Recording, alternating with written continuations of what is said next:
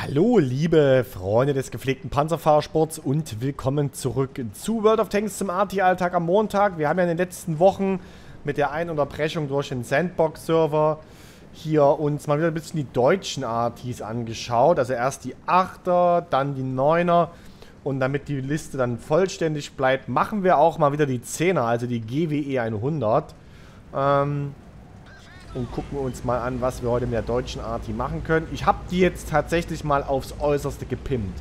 Ich habe also auch einen Ansetzer und einen Richtantrieb für Anleihen in das Ding eingebaut und dann auch noch die Direktiven für den Richtantrieb. Ich bin mal gespannt, ob wir damit irgendwas anfangen können. Diese deutsche Arti ist halt so ein Zwischending ähm, zwischen der Russen-Arti, die halt extrem präzise und ähm, schnell ist und auch ähm, sehr treffsicher, allerdings halt nicht so viel Bums hat. Dafür hat die Deutsche, ja okay, gut, hat die Deutsche halt ein bisschen mehr Kraft, aber ähm, bisschen mehr Richtbereich, aber dafür ist sie extrem langsam. Und hat auch nicht so diesen mega monster guten Reload, den wir von der Russenarti kennen. Aber dafür halt ein bisschen mehr Kraft in den Granaten. So, K91, fährt er hinters Haus? Er fährt hinters Haus. Das ist natürlich nicht schön. Er bleibt da auch hinterm Haus und kommt da nicht weiter rausgefahren. Gut, dann kümmern wir uns mal um den Kollegen hier. Er ist natürlich wieder zu. Äh, für die müsste ich nachaimen. So, Schuss ist raus. Die fahren zwar zurück, aber die Grille wird auf jeden Fall was abbekommen. Jawohl. Und wir bekommen sogar nochmal Stun Damage. Das ist natürlich schön. So, da ist der FV wieder. Wir stellen uns mal so, oder drehen uns mal so, dass wir auf beide wirken können. So, die Grille fährt jetzt wieder unter die Brücke. Der FV, ich habe halt noch... Äh, der ist wieder zu, so ein Mist. So, K91 ist wieder offen. Mal gucken. Ich lasse mal, ich bleib mal hier eingehen. Genau, der EBR ist ja auch noch da. So, hallo FV. Der geht drüber und hinten rein. Ich, ich muss sagen, irgendwie, ich habe ja mal über die Russenarti so extrem gemeckert, aber sie hat halt ihre Vorteile und irgendwie, oder sagen wir mal, sie hat ihre eigene, Mecha eigene Mechanik, klingt übertrieben, aber die deutsche Arti ist irgendwie so nichts Halbes und nichts Ganzes. Sie kann halt von den Sachen, was die Russenarti kann, das kann sie nicht ganz so gut. Und von dem, was die anderen Artis können mit richtig viel Kraft, ja, richtig viel Kraft in der Kanone, das kann sie halt auch nicht so gut. So, Kranwagen, T57 Heavy. Kommen wir da irgendwie ran? Aber ja, toll, der geht raus. Dann vielleicht hier drüben der FV. Oder der Leopard. Geht alles wieder zu. Die Artis offen. Problem ist aber auch, dass die relativ mobil ist und wir noch nicht wirklich eingezielt. Und die Granaten brauchen auch ewig, bis sie da sind. Ach, ist... Okay, jetzt geht der EBR raus. Ich hätte vielleicht einfach nochmal warten sollen. Bis ähm, er nochmal ranfährt und nicht einfach blind auf die Arti schießen. Oh. Toll. Ja, am Ende schlecht gespielt von mir. Äh, bisschen Pech beim RNG. Der gegnerische EBR findet die Lücke und bevor überhaupt unser sechster Sinn angeht, sind wir hier tot. Schaden 328. Willkommen im AT-Alltag. Wir sehen uns gleich in der zweiten Runde wieder. So, nachdem die erste Runde echt kacke war, also nicht nur vom RNG und vom Pech mit dem EBR, sondern wir haben auch einfach kacke gespielt, sind wir jetzt in einem Großgefecht auf Hinterland und jetzt muss ich tatsächlich erstmal gucken, wo ich mich jetzt hinstelle hier mit der RT, damit wir nicht gleich rausgehen. Der Gegner, wir gucken mal kurz drauf. Ach, zwei EBRs, okay. Da müssen wir aufpassen. Nicht, dass die uns hier gleich wegrußen zum Beispiel keine Ahnung, ob man hier schon stehen bleiben kann. Das sieht aus wie eine kleine Kuhle. Und wir gucken mal, was wir denn hier drüben so Schönes anzielen. Okay, finden, da wollte ich auf den, e, auf den FV, aber der war dann auch schon direkt wieder zu. Mal gucken, ob wir auf dem Progetto was machen. Wow, 74. Gut, der stand halt relativ weit schon weg. Und wir gucken mal. Dieses Glockengeläute geht mir ehrlich gesagt ziemlich auf den Zeiger. So, was haben wir denn da Schönes? 183. Der steht wunderbar da. Ich glaube nicht so richtig, dass ihm klar ist, dass er da gespottet ist. Wir hauen blind eine Granate hinterher. Alle anderen Gratis haben den auch lieb. Und wir bleiben diesmal etwas auf der Position eingeengt. Beziehungsweise ich gucke mal kurz. Ah, hier hinten kommt man auch hin. Vielleicht bleiben wir auch erstmal hier. Das sind, kann man ein bisschen mehr Splash Damage machen, wenn die anfangen ein bisschen zu kuscheln. Der IS-7 und der 113er. Na, Kollegen? Jetzt bleibt, ja, stehen. Wow. Er bleibt stehen, beziehungsweise fährt genau in den Schuss rein. Und was passiert mit unserem Schuss? Der Schuss geht drüber. Und jetzt haben wir schon mal das Problem, dass sich unsere Teammates hier ganz schön stark schon zurückziehen auf der Seite. Und dementsprechend mir dort auch wieder das Spotting verloren geht. Oh Leute, das kann doch nicht euer Ernst sein. Und dieses Glockengeläute geht mir auf den Zeiger.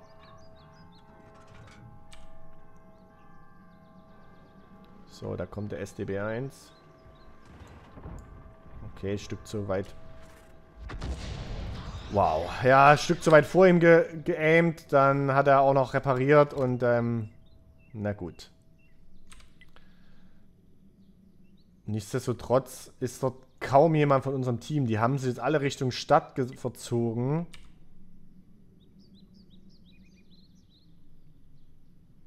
Ich will aber auch die Flanke... Oh, ganz ehrlich. Da steht ein Type 5. Das ist mir das nettere Ziel. Der ist deutlich einfacher zu treffen. Oh Gott, oh Gott, oh Gott. Der EBR da hinten schon wieder.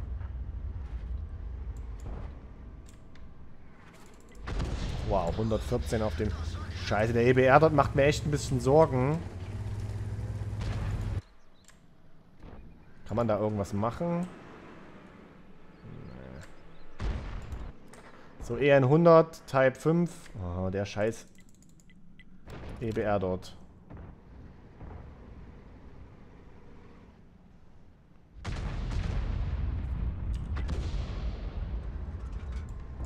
Schuss ist raus.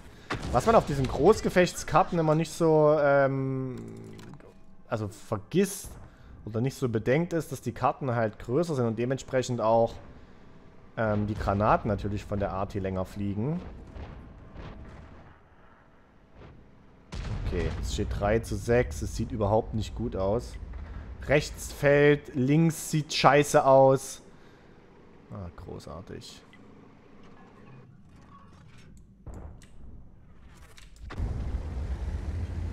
So, die Grille hat sich zurückgezogen. Dementsprechend haben wir jetzt auch keinen Schutz mehr für den, vor dem EBR, wenn der über die Bahnlinie kommt. Spitzenleistung. Da ist er auch schon, der EBR. Alle beide. Ach, ja, wow. Okay. Schönen Dank auch. Wir sind offen. Die Grille kümmert sich einen Scheißdreck darum. STB1 vielleicht. Ja, so. Erste Arti, zweite Arti. Ey, Junge, jetzt werd doch mal munter hier.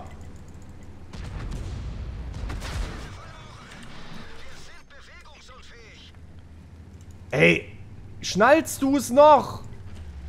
Da, nö, der checkt. Wow. Ja, was soll ich machen?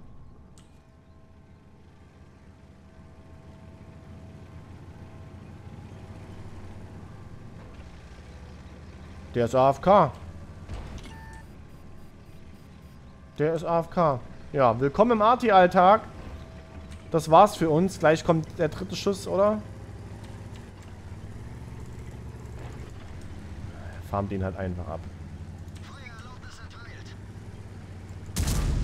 Danke. Und tschüss.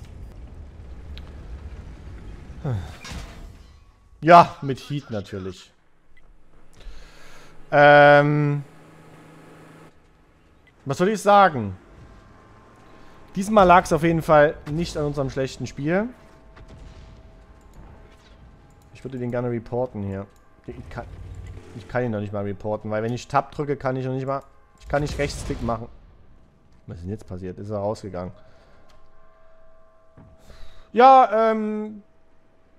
Willkommen gleich in der dritten Runde. So, dritte Runde. Auch wieder mit jeweils einem EBR auf jeder Seite. Und wir sind auf Minsk. Einer Karte, die für Arti, naja, auch nicht unbedingt das Beste ist.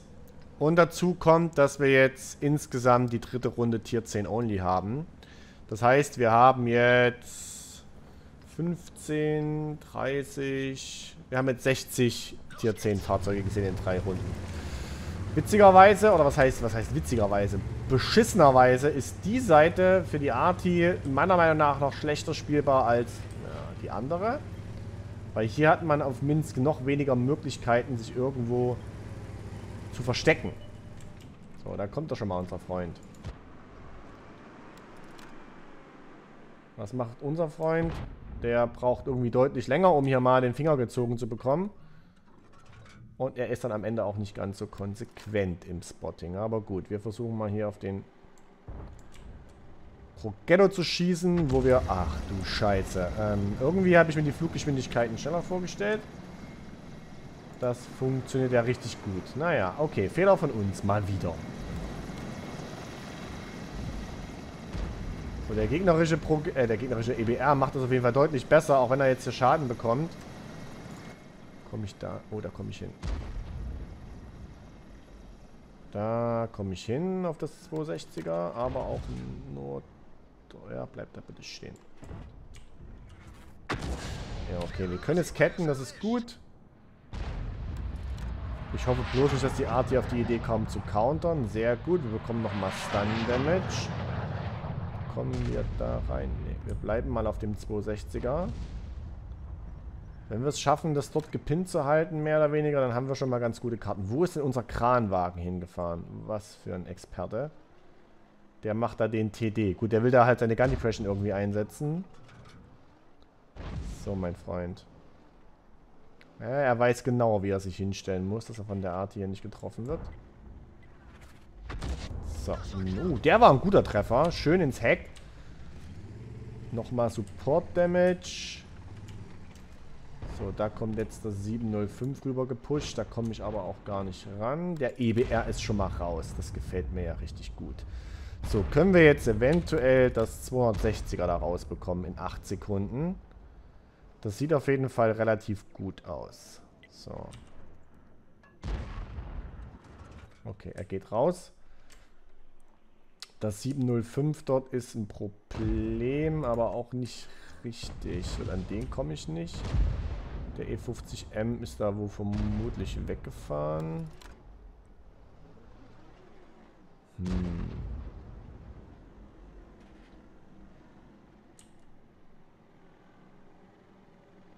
Versucht er da abzuhauen?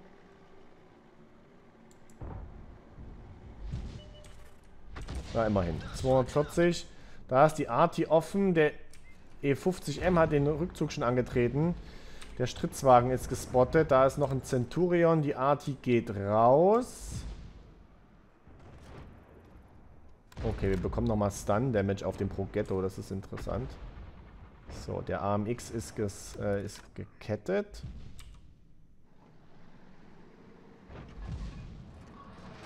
So, mein Freund, du bleibst da stehen. Das gefällt mir. Können wir nochmal Schaden abfarmen. Irgendwo ist noch eine 261. Und so richtig trauen die sich da nicht gegen den...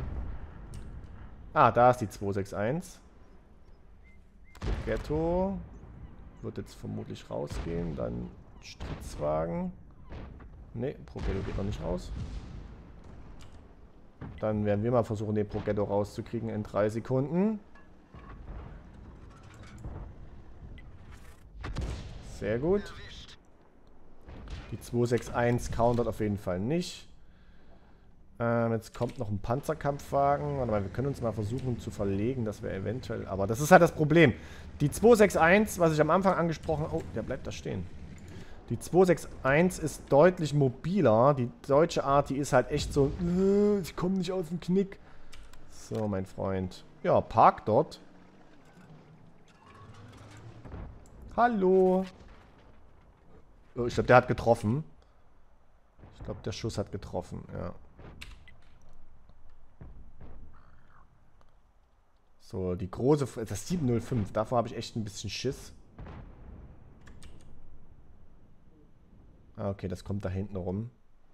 Ah, und er ist zurückgefahren.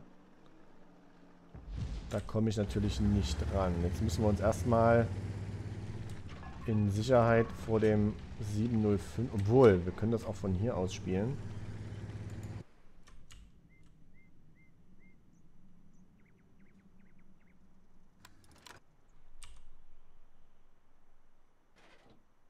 Na? Ist es doch oben abgebogen, wo der Progetto jetzt hinfährt? Oder versucht ja an der Ecke Seite zu scrapen? Okay, der FV verlegt... Warum, warum fährt der FV denn weg? Wie viele Hitpoints hat er noch? Genügend.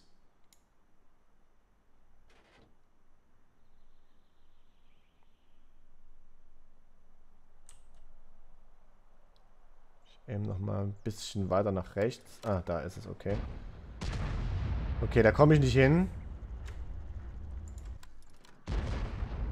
Aber an den E50 komme ich. Falls er dort stehen bleibt. Na, da komme ich jetzt wieder nicht hin.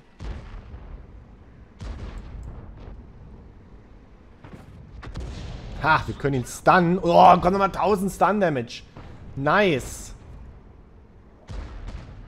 Auch wenn der äh, das 430 U es nicht schafft, so, E50. Panzerkampfwagen, komme ich nicht ran.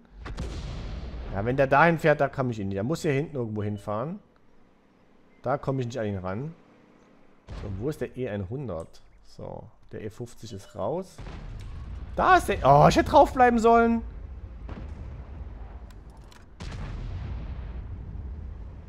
Ja, okay, jetzt kommt er natürlich nicht nochmal. Es sei denn, er schafft es bis hier hinter sich zu verlegen. Ach, Jagd-E ist da auch noch.